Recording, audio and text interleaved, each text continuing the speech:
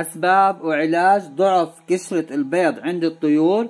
وشو الحالات المرضية اللي بوصلها؟ طبعا أنا مصور البيض معي بس ما عندي بيض. الحمد لله عند برشت هو الاسم العلمي له برشت أو بيض من دون قشرة بس حبيت أعطيكم البيض تصوير عشان نشرح عنه بس أنا ما عندي هاي الحالات. اسمعوا الفيديو للآخر وإن شاء الله الكل بيستفيد منها وأهلا وسهلا فيكم.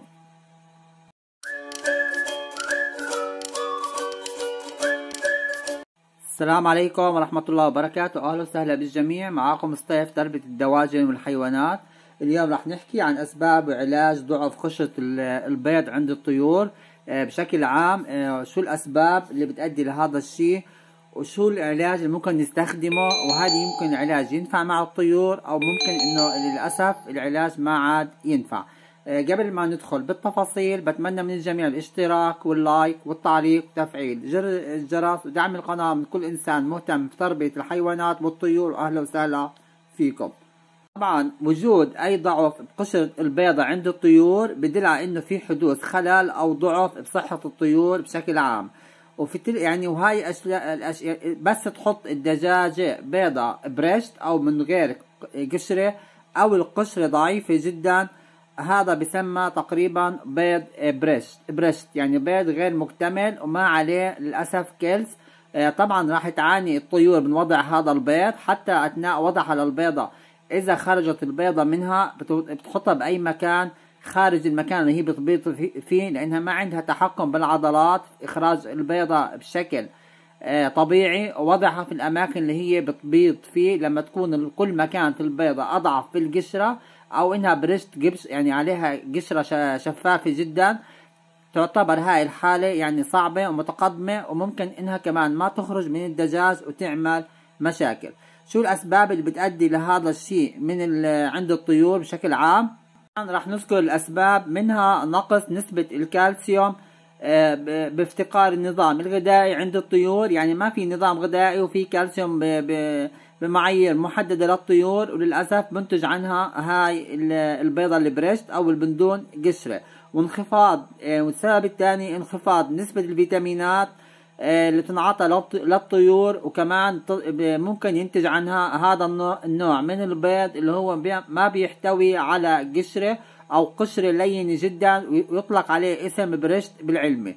وإهمال التغذية السليمة للطيور كمان للأسف وغير متوازن آه، نقص عناصر مهمة آه، مثل الأملاح والمعادن ومثل ضعف بيؤدي لإنتاج البيض من دون قشرة. علشان هيك إحنا دائما بننوه إنه يكون في آه، نظام غذائي للطيور بيحتوي على جميع المعادن والفيتامينات. وبنعمل الخلطات اللي أنتم بتشوفوها موجودة عندي بالمقاطع عشان نقدر نحافظ على الطير من كل النواحي.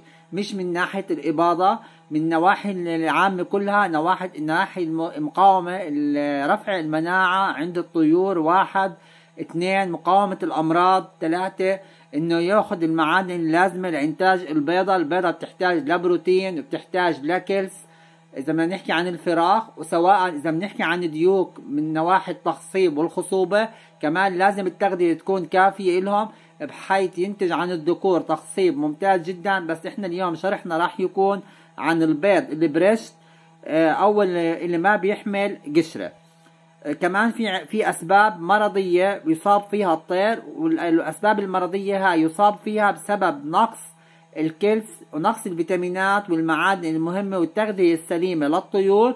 آه، لأنه طالما الطير أو الفرخة بتعطينا بيض بريشت أو بيض بدون قشرة يعتبر إنه هي كمان بتعاني من نقص عام في التغذية من الكالسيوم من الفيتامينات من آه، سوء التغذية وتوازن التغذية والأملاح وشغلات كتير عندها والمعادن في عندها نقص فيهم وهذا كله بيؤدي إلى مرض كمان الفرخة أو الطير وضعفها بشكل عام وتعرضها بشكل أسهل لضعف المناعة وإصابتها بالأمراض والفيروسات. عرفنا الم... عرفنا المشاكل تقريبا والأسباب اللي بتؤدي لإنتاج البيض دون قشرة أو بيض بريست بالاسم العلمي. طيب شو الحلول؟ الحلول أول شغلة بدك تعزل الفرخات اللي بتبيض بريست. شو ما كان نوعها؟ عن الذكورة. لازم يتم عزل هاي الفراخ عن الذكور بأماكن خاصة إلها وتقديم نظام غذائي متوازن لحد ما تسترد الفيتاميناتها وتسترد كل إشي ناقص عندها من الفيتامينات أو المعادن أو الأملاح أو الكلس وترجع لطبيعتها بالحالات اللي هي بتكون طبيعية مش يعني حتى لو عندها أمراض لازم يتم علاجها. إذا عندها فطريات أو عندها التهابات داخلية في الجهاز الهضمي كمان مع الخلطات ورفع الفيتامينات إلها والتغذية المتوازنة راح يتم إن شاء الله شفائها من الأمراض الالتهابات اللي هي بتعاني منها وكمان مع الغذاء المتوازن راح يتم آه، علاجها وعدم إجهاضها وليش بنعزلهم من مكان لحالهم؟ عشان يحصلوا على الكمية الكافية من الغذاء.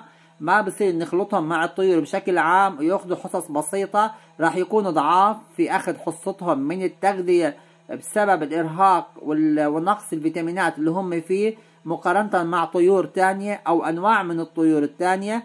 فيستحسن ويفضل إنك تعزلهم تعزل هذا النوع من الدجاج سواء فرخة أو فرختين أو خمسة شو ما كانوا عندك سمح الله.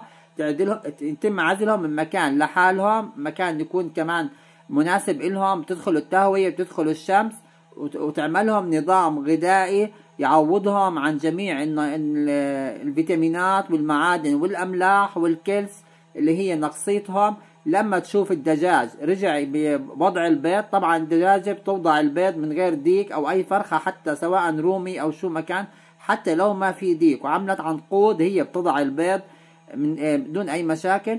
لما تشوف إنه تم وضع البيض بشكل طبيعي وأمورها كلها تمام آه، ما في أي مشكلة بالبيض. الكلس تقريبا يعتبر جيد جدا بتحس القشرة ممتازة.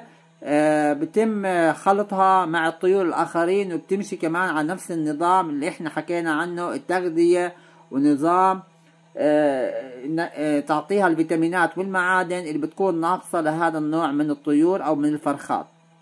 وبنعطيك كمان طرق تساعدك أكتر في الشفاء العاجل تعقيم المياه بشكل مستمر وضع مثلا قطرات من خل التفاح أو خل الأبيض على 2 لتر مي بتوضع ربع فنجان أو نص فنجان بحيث تقاوم البكتيريا. إذا في المي بتحتوي على بكتيريا يعني ما بصير تقدم مي ملوثة لهذا النوع من الطيور بالذات لأنه كمان هي عرضة بسبب ضعف جهاز المناعة عندها عرضة للإصابة بالفطري بالفطريات والفيروسات وبعد أمراض.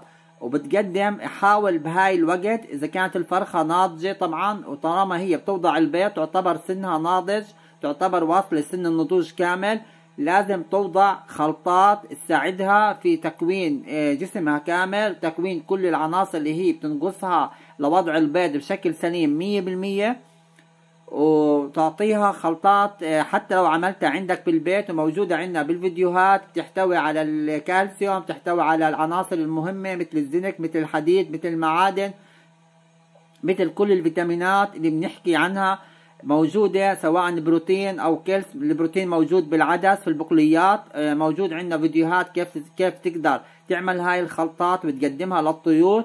آه، موجود الحلبة الحلبة ممتازة جدا وأنا عملت عنها مقطع وتقدر كمان تضيف الحلبة آه، للطيور في معايير محددة لنوع من هذا الدجاج اللي أو نوع من الطيور اللي بينتج بيض بريست دون قشرة. الحل الوحيد له مقاومة الأمراض المرض هذا اللي هو فيه أو مقاومة البيض من برشت من دون قشرة هو العزل آه، والاهتمام في التغذية مش العزل لأنهم مرضى العزل عشان أهتم فيهم ياخذوا حصة كبيرة من التغذية اللي بتلزمهم. يعني أنا بحط للطيور العادية مثلا 120 غرام أو 100 غرام هدول بحط لهم 150 غرام للفرخة. عمل ما تسترد صحتها وتاخذ كل الفيتامينات اللي هي بحاجة إلها ونقصيتها وترجع لطبيعتها. بقدر أنا أضيفها مع الطيور الآخرين بشكل سليم. بتمنى تكون المعلومات مفيدة. ما تنسونا من الاشتراك واللايك والتعليق. وتفعيل جرس الجرس. ويعطيكم العافية. شكرا لكم للجميع وأهلا وسهلا فيكم.